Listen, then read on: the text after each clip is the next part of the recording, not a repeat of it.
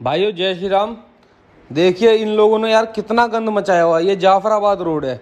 और आप ये देख सकते हो कितना गंद मतलब रोड के बीचों बीच रोड में भरा हुआ है ये सब गंद।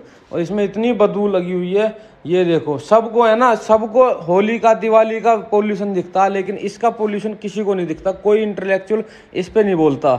आप देखिए, इस पर भी पोल्यूशन होता है भाई ये सड़ता है, इसमें स्मेल बनती है, वो स्मेल दूषित करती है सबको, देखो। और रोड के बीचों बीच गिरा हुआ यार, निकलने, निकलना भी उससे दुश्वार है वहाँ से। आप देखते रहिए, देखो। ये देखना कितना गंद है यार, ये मतलब रोड पे क्या गिरने की ज़रूरत है इनको? रोड पे गिर रखा है, इसके खिलाफ कोई बोलता नहीं ना इसलिए।